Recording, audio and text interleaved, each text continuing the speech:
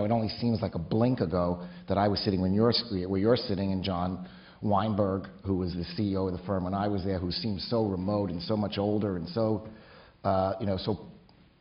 you know, important and if not perfect, then well developed, looked to me, and it's hard to conceive, but, you know, we all are stretched, no matter who you think of in, in the country is doing something, and even if the situation didn't, even if the level of the people you're dealing with don't compelling, just the uncertainty about the future and the weight of having to make decisions that have consequence, that could be right or wrong, carries with it, um, carries it with some bur- you know, burdens.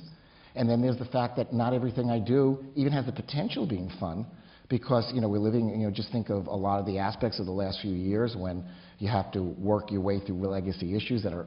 that are hard, but even more, more than hard, they're unpleasant, and you have to confront things and deal and respond to people who aren't happy with you and walk into rooms and, and, and deal with the consequences of that. It's a different time, and my kids are in a different place than I am. Right. So, and I don't know what's what Right. because I can't, I can't, I don't have that controlled experiment that puts them exactly in the same context I was in. Look at how the world favors an, an, a kid who wants to be an entrepreneur today. You could go and get,